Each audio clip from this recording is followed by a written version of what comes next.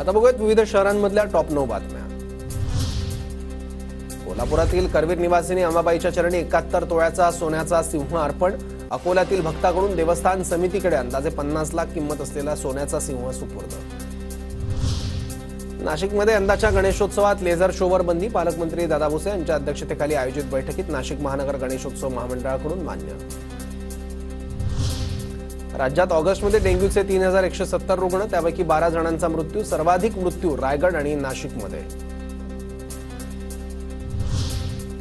आरेतील तीन तलावात यंदाही गणेश विसर्जनाला परवानगी नाही प्रशासनाची मुंबई उच्च न्यायालयात हमी वनशक्ती या संस्थेनं दाखल केली जनहित याचिका.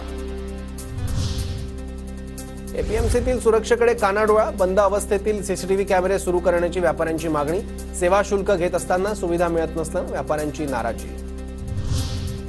गणेशोत्सवाच्या पार्श्वभूमीवर पुण्याच्या बोर तालुक्यातील सर्वच गणेश मंडळांची बैठक संपन्न. सर्व गणेश मंडळांनी प्रशासनाला सहकार्य करावं. बोरचे उपविभागीय अधिकाऱ्यांना सूचना.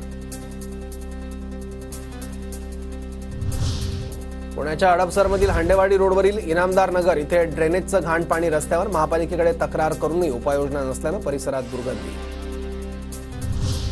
अमरावतीच्या मोर्शीत संत्रा उत्पादक शेतकऱ्यांचा भव्य ट्रॅक्टर मोर्चा आतापर्यंत झालेल्या पिकाची नुकसान भरपाई देण्याची शेतकऱ्यांची मागणी. मीरा भाईंदरमध्ये भाजपचे राजन पांडे यांच्यावर चाकू हल्ला पांडे गंभीर जखमी अंतर्गत वादातून हल्ला झाल्याची प्राथमिक माहिती समोर.